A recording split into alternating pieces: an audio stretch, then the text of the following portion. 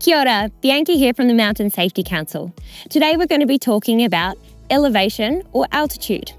Elevation is a measure in metres of how high you are above the sea. As you gain height up a mountain, the conditions will change.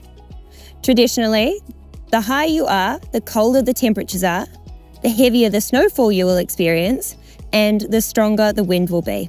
The NZ Avalanche Advisory Forecast gives you an overall rating as well as a rating across three different elevation bands.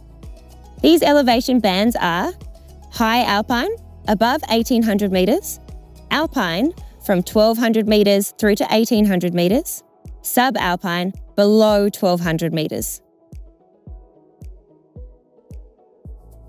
It's recommended to carry with you a GPS, topo map, and altimeter. They are essential to understand your current elevation and the elevation of the slopes you plan to travel on. Make sure to check the avalanche advisory at avalanche.net.nz before you head out.